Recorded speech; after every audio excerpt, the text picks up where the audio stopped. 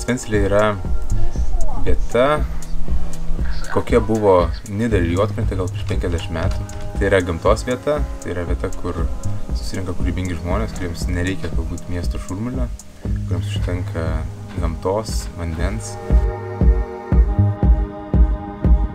Į Svencelę aš atvažiavau prieš kokius 6-7 metus, atvažiavau gaudyti vėjo, norėjau išmokti buriuoti ir realiai galvojau, kad šita vieta yra tik tai tam, tik tai gaudyti vėjo.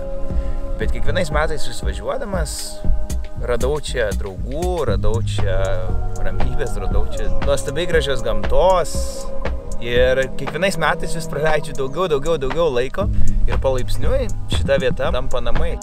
Tai Svencelė mums yra vieta nuo visiškos tuštumos iki absoliutaus kažkokio užsipildymo.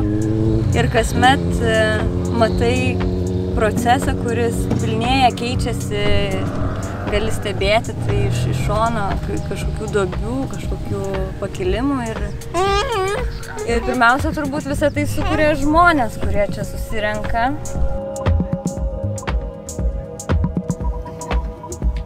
Kaip keliautojas ir kaituotojas aš galiu pasakyti, kad Svencelė yra viena geriausių vietų pasaulyje, kur galima kaituoti. Ir ne vien dėl to, kad čia kažkokios tai superinės pas mus sąlygos būtų, bet dėl tos ramumos, dėl tų nuostabių saulėlydžių, dėl žmonių ir gamtos sąveikos tarpusai. Atvažiavę čia žmonės pasidaro visi ramesni, čia ganėtinai saugu. Kažko, kažkoks yra, kažkokį magišką vaibą turi.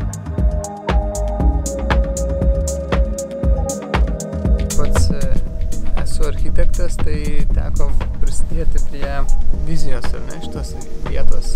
Ir čia atsiradau maždaug prieš 3-4 metus, pusiau avantūros būdu, kur e, į Svencelį atplaukiau iš Kauno praktiškai plaustu, silaipinau ant kranto ir e, taip prasidėjo šitas projektas. Svencelė žavi savo idėją sukurti pirmąjį Lietuvoje vandens miestą, miestą su vandens keliais tai bus modernus, įdomus vėjo kaimas ir iškasinėtas visas kanalais, kur tu galėsi papulti nuo vieno kaimyno pas kitą kaimyną valtim, ten laiveliu, kateriu ar, ar kažkokia kita vandens transporto priemonė.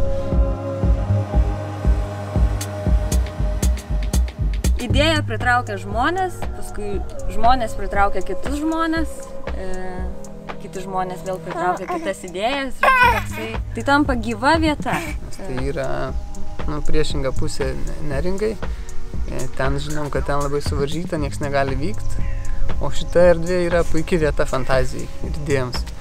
Tai aš manau, kad jinai kaip magnetas traukia fainus žmonės ir idėjas, mintis, kurios vat, dabar įgauna pavydalą tokį turinį, erdvinį. Ir tikiuosi, ir net nesitikiu, bet manau, kad tose erdvėse įsikurs daug fainų, fainų žmonių, protų, kur gims dar daugiau visokių dalykų.